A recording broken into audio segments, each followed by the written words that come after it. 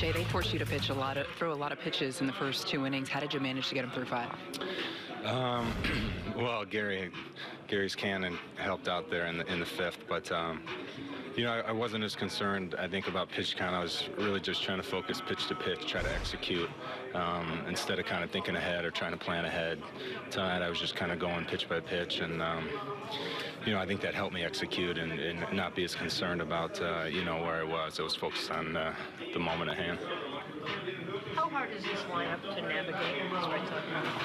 They're tough. They do a lot of things good: power, speed, average, and um, that's tough to tough to combat. But um, uh, you know, luckily tonight they hit some balls at some guys and were able to get some big outs uh, when we needed it.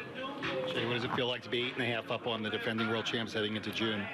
Feels good. We're hoping to we're hoping to uh, you know continue that lead and um, you know hopefully grow that between Gary's play to and really end your night, and then some of the big hits that and the situations they were in. What was the atmosphere like just for some of those big moments? It was great. You know, I think um, we had a lot. You know, they had a lot of great at bats, but but so did we. Um, you know, obviously against a good pitcher um, and Chris over there. So um, you know, it was just a good win. We did a lot of things good tonight, and um, you know, I think that's how it came away with the win. Does the defense get a pitcher pumped up when you see great play? Absolutely. I mean, that's a big moment right there. Um, I think it was going to go to 2-1 or 3-1. And, uh, you know, for the Gary play and um, to get out of the inning and to kind of get Nunez there was huge. Little little things like that definitely go a long way. You just never know how the rest of that inning could unfold. Um, so every every out's huge, especially against a lineup like that. Jay, how much does it help a starter when you have a bullpen like this that can just go one, two, three, four deep with an inning apiece? You don't have to do too much for yourself.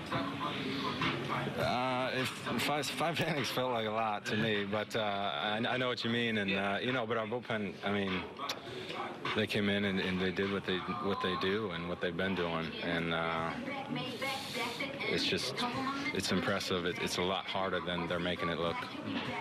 Jay 4-0 in your last five starts. What have you tapped into recently?